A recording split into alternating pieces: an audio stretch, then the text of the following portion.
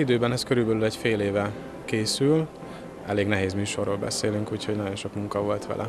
A Tolna ifjúsági fúvósoktól nem meglepő, hogy nehéz feladatra vállalkoznak. Azért nehéz, mert különleges a hangszerelése a daraboknak, és hát olyan hangszerek is lesznek benne, mint például hárfa, meg csőharang, meg egyéb, egyéb finomságok, úgyhogy nagyon nehéz összehozni a, dolgokat.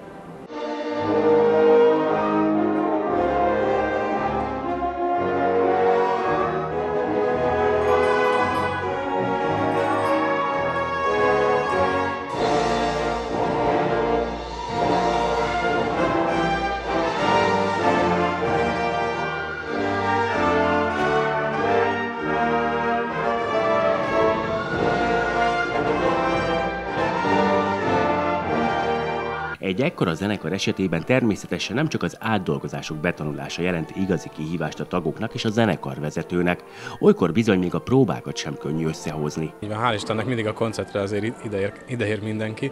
Hát sokan vannak, akik egyetemen tanulnak, már dolgoznak, és ez mellett nehéz egy picit összehozni, de azért szépen, szépen össze szokott jönni mindig a koncerteken.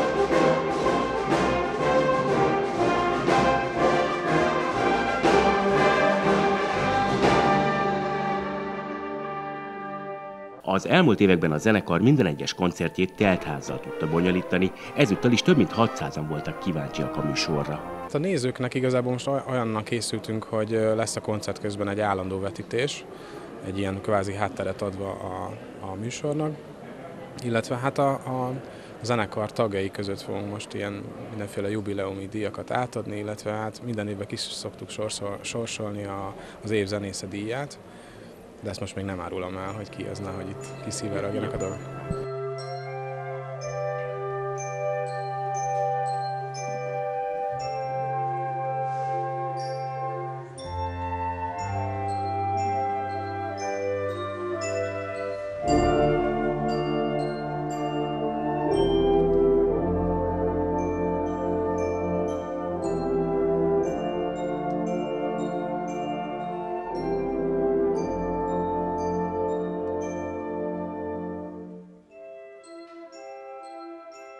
Volt egy olyan ötletünk a koncerttel kapcsolatban, hogy az egyik szakszofonosunk, aki sajnos már nem tagja a zenekarnak, nagyon hasonlít a reszkesetek betörőkből a kevére, és gondoltuk, hogy majd egy ilyen kis mókázással itt kergetőzünk a színpadon, vagy a koncerten, de hát sajnos ez most ez miatt nem valósulhat meg, de ez egy ilyen jó poén lett volna talán.